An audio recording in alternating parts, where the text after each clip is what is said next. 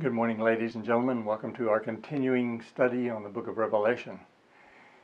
For our theme song this morning, we're going to change up our procedure a little bit, and I'm going to invite each of you who would like to to offer suggested songs that we use in this time slot. And to get us kicked off, we're using a song recommended by Brother Doug McDaniel. Everybody's going to have a wonderful time up there by the cathedrals.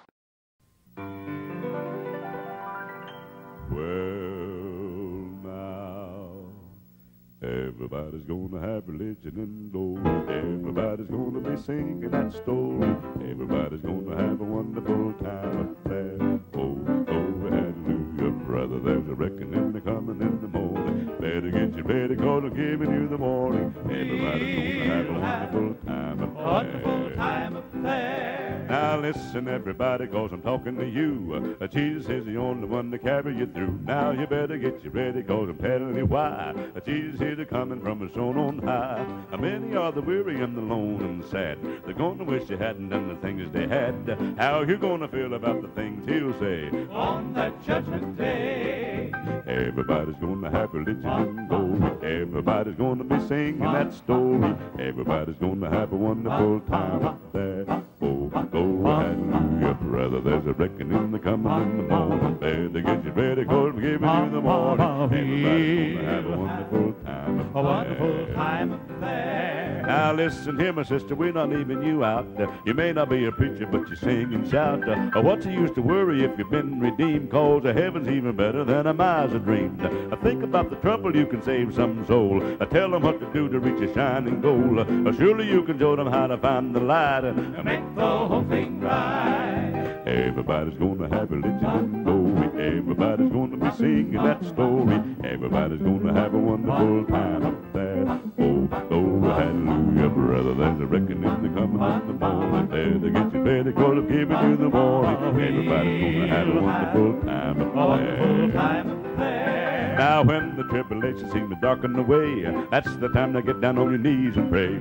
Everybody's gonna have the troubles too. You gotta be so careful about the things you do. We're going down the valley, going one by one.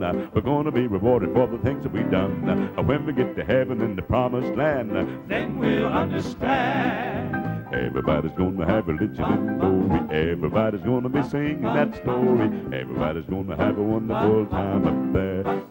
Oh, hallelujah, brother. There's a reckoning the coming in the morning. Better get you ready, cause I'm giving you the warning. Everybody's gonna have a wonderful time A wonderful time there. Now you get your Holy Bible in the back of the book. Uh, the book of Revelation, that's the place you must look. You can understand it and you can if you try. Uh, Jesus is a coming from his throne on high. Uh, reading in the Bible all the things that he said. He said he was a coming back to raise the dead. Are you gonna be among the chosen few? Will you make it through?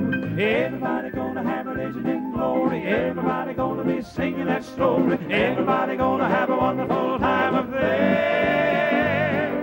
Brother, there's a reckoning coming in the morning. Better get you ready, cause I'm giving you the warning. Everybody's gonna have a wonderful time up there. We'll have a time, a wonderful time. We'll have a time up there.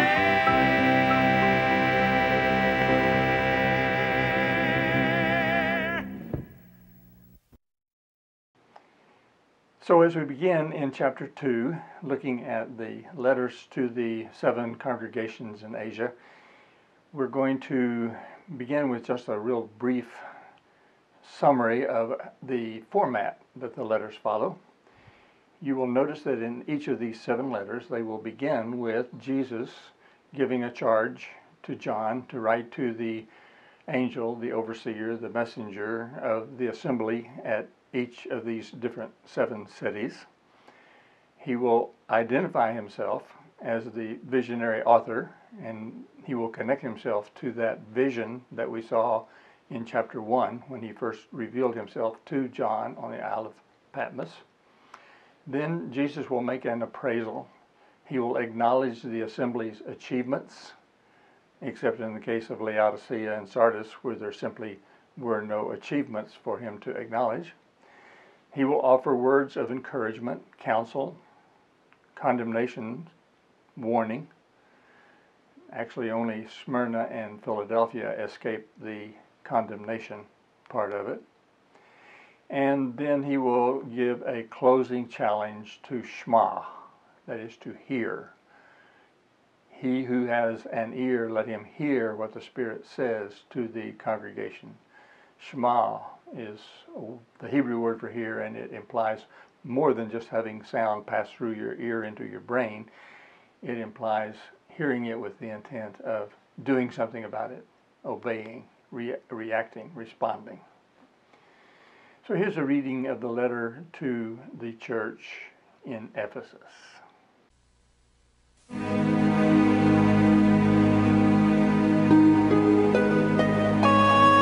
This is what you must write to the angel of the church in Ephesus. I am the one who holds the seven stars in my right hand. And I walk among the seven gold lampstands. Listen to what I say. I know everything you have done, including your hard work and how you have endured. I know you won't put up with anyone who is evil. When some people pretended to be apostles, you tested them and found out that they were liars. You have endured and gone through hard times because of me, and you have not given up. But I do have something against you, and it is this.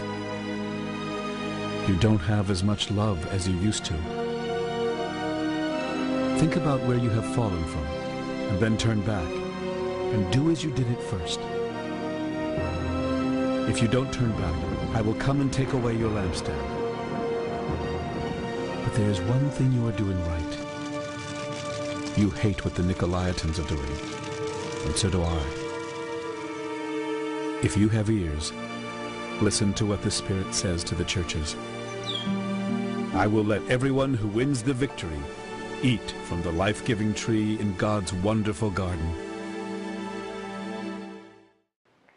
So the verse says, Write this to the angel of the congregation in Ephesus.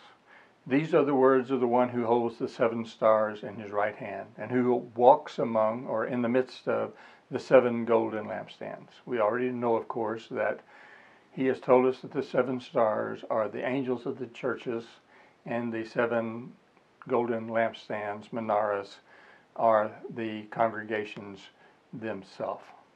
Verse 2 says, I know what you have done, your hard labor and patience. I know that you cannot tolerate evil people, and that you have tested those who pass themselves off as apostles, but are not. And you have demonstrated them to be frauds and liars. You have patience, and you have put up with a great deal because of my name, and you haven't grown weary. What a wonderful commendation to begin this letter to this congregation in Ephesus. He says, I know. Actually, all seven of the letters begin with some form of I know. Uh, this reminds us that Jesus has perfect knowledge, and this knowledge is the basis of both perfect praise and perfect blame. It's not like you or me offering some compliment or like you or me making some word of commendation or of condemnation because we do it from our very inferior knowledge. And yet Jesus does it from all knowledge. There is no error in his judgment, both pro and con. He says that there are those who pass themselves off as apostles. Actually, Paul warned Ephesus about this in Acts 20 and verse 28. Some see this as evidence maybe that this was written before AD 70 simply because the idea of apostles, false or otherwise, kind of passes out of the literature of the early congregations um, after the destruction of Jerusalem. These people were purveyors of false doctrine and they remind us of the fact that false doctrine, false apostles can arise in any age, in any culture, on any continent. And these people can label themselves as spokesmen for God, when in fact they are quite the opposite. The false doctrine of the fake apostles uh, in Ephesus was not about worship style. It was not about traditions or preferences or dogma. It had rather to do with the very person and purpose of Jesus the Messiah. To the Jewish Christians, he wasn't Jewish enough. And they caused problems because that he didn't fit their mold. To the Gnostic Christians, he wasn't human enough. And they came up with some very unacceptable doctrine because they considered the flesh to be of no importance, no consequence, only the spirit matters, and therefore whatever you chose to do of a fleshly nature had no bearing one way or the other, so go out and enjoy yourself. And that permeated the teaching of these false apostles, these false teachers in the first and second century. Being patient and not growing weary are part of the fundamental fabric of the message of the entire book of Revelation and certainly to this letter to the congregation in Ephesus. And it serves as a model to us today. We uh, often are very anxious. We are very tired of the way things are. We want things to be different. We want things to be our way. We want things to be easier.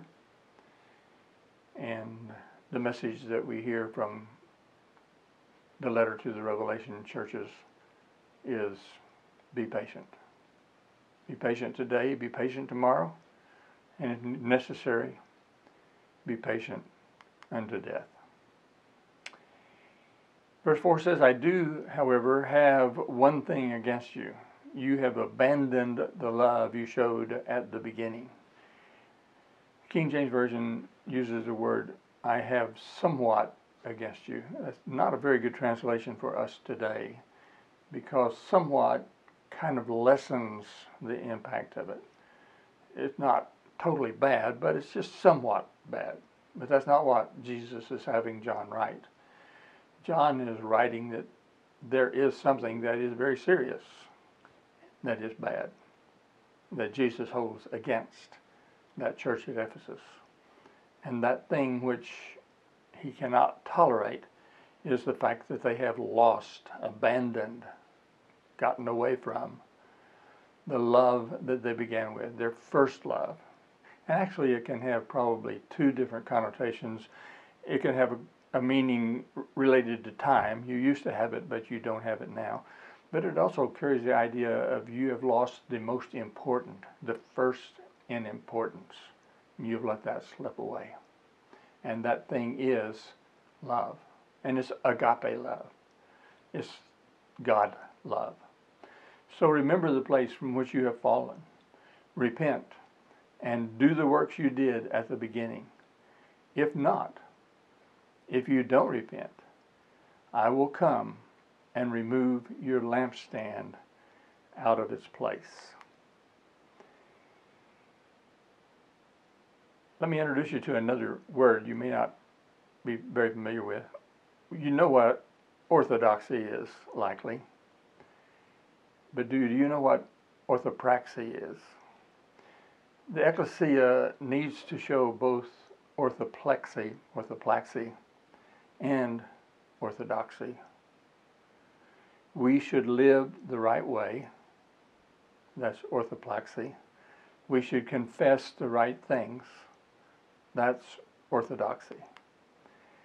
I think that it's quite possible that what Jesus is saying to the church at Ephesus is you have put so much emphasis on your orthodoxy you have been so focused on doctrinal purity and you have certainly not put up with false teachers. You have defended the, the gospel. You have defended the truth. But our first love has to be loving God and loving our neighbor the way that Jesus loved us.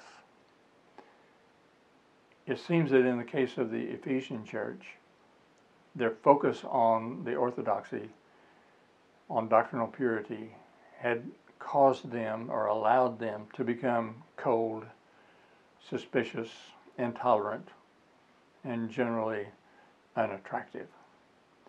And that is what Jesus is telling John to tell them that you need to not abandon standing for the truth, certainly.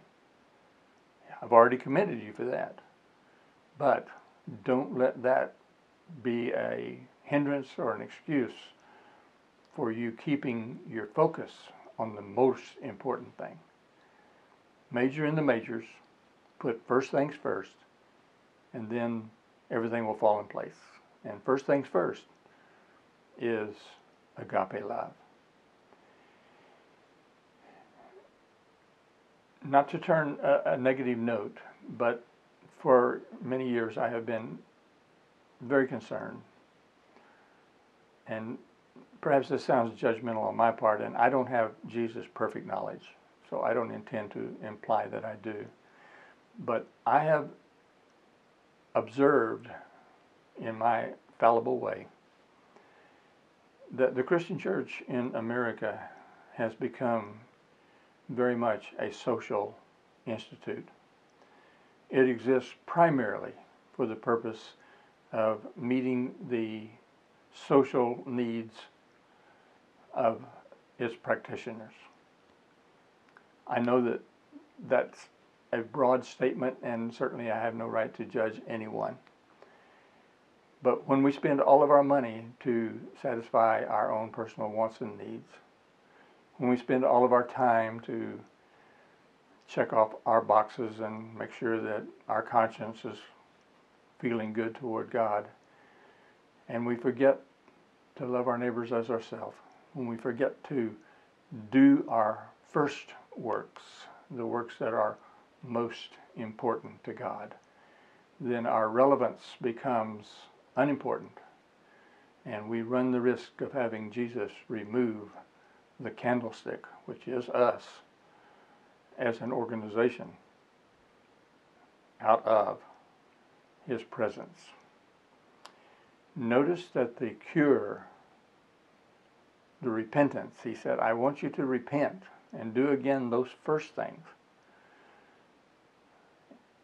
And he explains what that cure is, what that exper- uh, repentance is.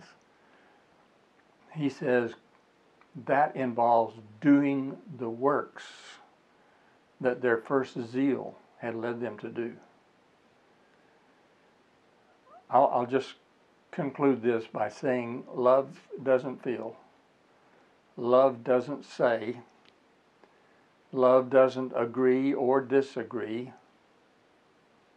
love does. Agape love is a verb, it's an action, and it's a choice. And it is the first importance. Verse 6 says, You do, though, have this in your favor. You hate what the Nicolaitans are doing, and I hate it too. Let anyone who has an ear listen to what the Spirit is saying to the sacred communities. So, who in the world are the Nicolaitans? Much has been surmised, much has been written. Some of it is guesstimate, but some of it is rooted, it seems to me, into some fairly reliable sources. So let's dig into this a little bit today. First of all, he commends their stand against false teachers, and then he mentions the Nicolaitans. The, the word itself is, is an interesting word. Uh, in the Greek, it comes from nikeo, to conquer, and laos, which simply means people. That's where we get our English word laity. And in verse 7, uh, when we get down to one of the later letters, um, we have the word nikonti, which is to overcome, to be victorious, to conquer. Nicolaitanism is also a form of uh, an Arabic word, Aramaic word, and in its root it carries the idea of let's eat. And the idea behind that is permissiveness, the idea of let's eat, drink, and be merry, for tomorrow we die. So let's do not restrict ourselves from anything that looks good to us. Let's be eaters. Anything physical is okay. And it carries very much the idea of Gnosticism, where the flesh is unimportant. So whatever we do in the flesh will be okay. There was a man named Nicholas from Syria, Antioch, who is mentioned in some of the secular literature as one who led many people into heresy. Various Roman authorities record that these followers of Nicholas were steeped in carnal sin on a rather massive scale. Surprisingly, some of the early church fathers, and we'll look at a few of these, held that this Nicholas was one of the seven deacons of Acts 6. Now, there certainly was one of the deacons who was named Nicholas. Is it this one or was it somebody else? Well, I don't know, of course, but I do know that several of the early church fathers believed that he was.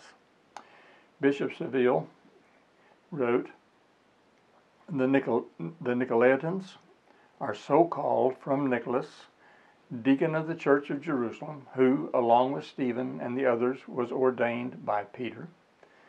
He abandoned his wife because of her beauty so that whoever wanted to might enjoy her.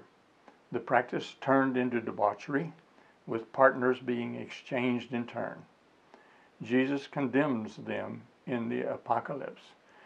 So Seville is saying that this Nicholas, for whom the word Nicolaitans comes, was indeed one of the seven selected in Acts chapter 6. We'll get down to the Pergamum church uh, a little bit later on, not today, but later. And in that we will read, I have a few things against you. You have some there who hold the teaching of Balaam you remember Balaam, don't you? Balaam was the the uh, man who had an argument with his donkey, and the donkey won. Balaam taught Balak to put a stumbling block before the sons of Israel that they might eat food sacrificed to idols and practice immorality. So, or thus, you also have some who hold the teaching of the Nicolaitans. So in this next or next later letter to Pergamum, which we'll get to later on in chapter 2, we have the Nicolaitans being mentioned again, and here they are associated by metaphor with Balaam, and the accusations have to do with eating food sacrificed to idols and practicing immorality. So we're beginning to see a, a, a trend here, aren't we? Josephus writes that after Balaam failed to curse the Israelites, he counseled Balak to select the most desirable among their daughters and send them into the Israelite camp to seduce the Israelite soldiers to worship the gods of the Midianites and Moabites to make their God angry with them. So Josephus is saying that had Balaam succeeded, then they would have used immorality these uh, prostitutes to go in and tempt the soldiers of Israel, knowing that if they committed this sin with these uh, Midianite women, then God would turn his wrath against them and they would not be victorious. Both Peter in 2 Peter 2 and 15 and Jude in Jude verse 11 condemn some who have turned to walk in Balaam's way. So they also have that that connection with this metaphor. Eusebius writes, At this time, the so called sect of the Nicolaitans made its appearance and lasted for a very short time. Mention is made of it in the Apocalypse of John. They boasted that the author of their sect was Nicholas, one of the deacons who, with Stephen, were appointed by the apostles for the purpose of ministering to the poor.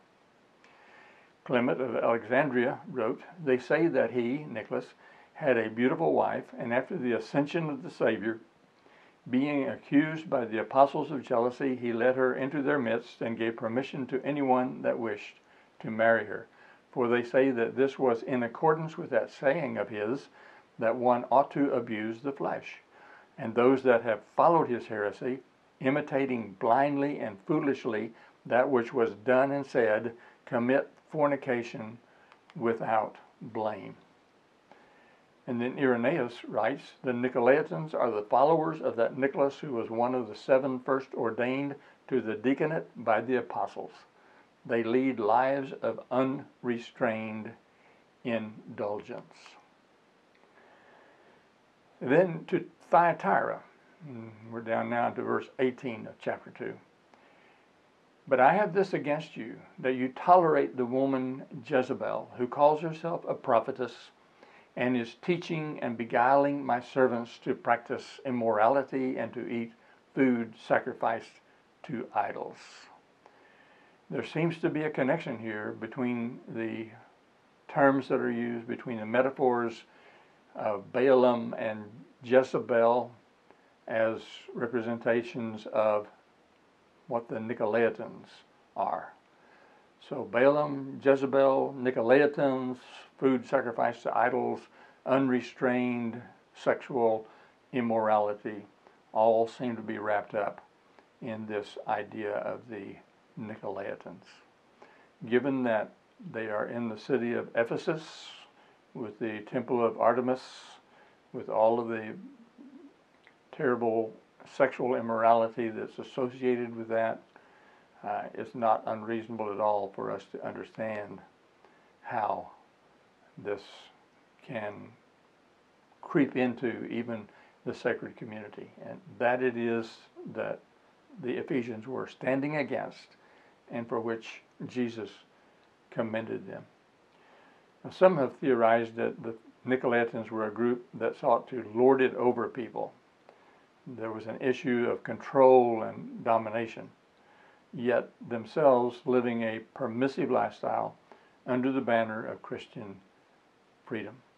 In all of these that we have talked about, there seems to be this strong element of Gnosticism, and we know that Gnosticism was one of the major false teachings that John and Peter and and uh, the other early church fathers and apostles uh, were continually writing about and warning against and condemning.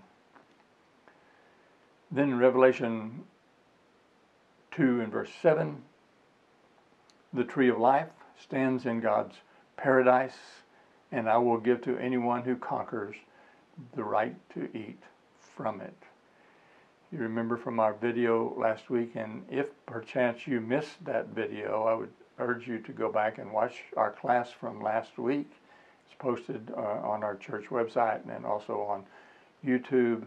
Uh, there's just a wonderful video there about Ephesus as it existed in the day of John and how Jesus' letter to Ephesus ties in so directly to the physical characteristics and the spiritual and cultural characteristics of that city at that time. And he talked about it, you will remember, he talked about there being this paradise uh, of the emperors, and uh, there in the very place where the temple of Artemis was built, there was this tree that was holy and sacred to those pagan people. And that tree had the name of uh, the tree of life. And it was to give anyone who conquers, anyone who uh, comes to it and pays homage there, um, it was to represent uh, a place of refuge and a place of, of salvation. We, of course, first come in contact with the tree of life in the Garden of Eden. And uh, Adam and Eve have access to that tree until they sin. And the tree is removed then, or they are taken away from the tree. And then we see it again when we get to the last part of the book of Revelation, where John sees the tree of life, well, actually the trees of life, because they're lining both sides of the river flowing from the throne of God. And here in the middle of that, we have the temple of Artemis in Ephesus in this paradise with the pagan tree of life. And Jesus is looking at that tree that's going to die and that holds forth a false promise and says, You hang in there with me, and I'm going to give you your own paradise, the paradise of God. And in that paradise, you will have access to the tree of life, which truly does give everlasting life. And that's the ending of the writing to the church at Ephesus. And that will bring us now to the church in Smyrna. This is what you must write to the angel of the church in Smyrna. I am the first and the last. I died, but now I am alive. Listen to what I say. I know how much you suffer, and how poor you are, but you are rich. I also know the cruel things being said about you by people who claim to be Jews. But they are not really Jews. They are a group that belongs to Satan. Don't worry about what you will suffer. The devil will throw some of you into jail, and you will be tested and made to suffer for ten days. But if you are faithful until you die, I will reward you with a glorious life. If you have ears, listen to what the Spirit says to the churches. Whoever wins the victory will not be hurt by the second death. So, right now we're going to call in Joe Stowell again. He is the president of Cornerstone University, and he is the gentleman that led us on the wonderful tour through Ephesus last week. And he will now be taking us on a journey through Smyrna, and we hope to be using him throughout these seven different letters to the seven churches. He does such a marvelous job of really putting everything into its historic, cultural significance and relating it directly to the writings of Jesus through John to these different sacred communities. So we'll see about half of it today, and then we'll pick up the other half uh, in our introduction next week, Lord willing, and before we go on into the text concerning Smyrna. And to the angel of the church in Smyrna write, These things says the first and the last, who was dead and came to life. I know your works, tribulation and poverty, but you are rich. I know the blasphemy of those who say they are Jews and are not, but are a synagogue of Satan. Do not fear any of those things which you are about to suffer. Indeed, the devil is about to throw some of you into prison, that you may be tested, and you will have tribulation ten days. Be faithful until death, and I will give you the crown of life. He who has an ear, let him hear what the Spirit says to the churches. He who overcomes shall not be hurt by the second death. We're standing amongst the ruins of ancient Smyrna, which, as you can see, is tucked right into the middle of the thriving Turkish city of Izmir. But Smyrna in its day was a thriving city as well. In fact, Smyrna was known as one of the finest seaports in the world. Uh, if you were to take a straight line west from Smyrna, it was the closest seaport to Europe. In fact, you'd end up right in Athens, the gateway to the rest of Europe. So Smyrna was an important city in its day. Smyrna was known for its beauty and its architecture and its gorgeous flowers and its almost tropical climate. But Smyrna was known for something else. Uh, its citizens took pride in its history. In 600 BC, the Lydian king Attalus conquered Smyrna and actually devastated it, left it as a humble, tiny village. And then when Alexander the Great came through here, in a dream he had a vision to rebuild Smyrna and rebuilt it into one of the most spectacular cities of its day. So the folklore and all of its literature was filled with references to death and resurrection. That we are the city who once was dead and have now come to life. And it's that theme that Jesus Christ picks up on when he writes his letter to early Christians suffering in this city. This claim to fame that Smyrna was that city that once was dead but has been resurrected now to a far better life was underscored by their major commodity, Smyrna held the exclusive rights to the import and export of the valued fragrant spice called myrrh. Actually, hence their name, Smyrna. Myrrh was not only valued for its fragrance, but it was valued for its use in burial procedures. In fact, they sold just countless amounts of myrrh to Egypt, where the embalming process was to preserve the body for its right to the afterlife, and myrrh was a very key ingredient. You know, I, I wonder if when the wise men came to celebrate the birth of Christ, that the frankincense and myrrh that they brought, wonder if that came from Smyrna. And I think too of the death of Christ, where they wrapped him and anointed him with myrrh. That probably came from Smyrna as well. So no wonder Jesus camps on this theme that early Christians who just may face death for him would be resurrected to a far better life. So it shouldn't come as a surprise that Jesus opens his letter by saying, I am the first and the last, the one who has died and risen again. And then he says to them, I know your tribulation. Interesting how all of the letters begin with that phrase, I know. In Revelation chapter 1, in John's vision, Christ is seen as walking amongst the lampstands, saying that he is present with the churches. But he's not just present, he's intensely aware of what they're dealing with. And he says, I know what tribulation you're under. The word tribulation there is the word for an ancient torture where they would take the victim and lie him on his back and then put weights on his chest, one upon another, upon another, until those weights began to crush and make it so he couldn't breathe anymore. What a vivid picture. Jesus recognizes three weights on the chest of this church. Number one, their poverty.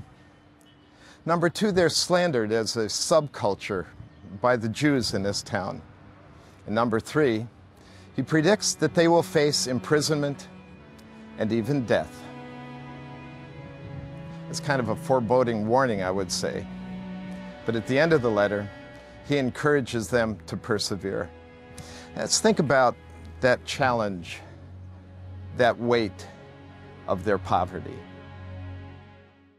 Taking a stand for Jesus Christ in the Roman Empire and particularly here in Smyrna, often meant being cast into an impoverished state. Um, you may lose your job.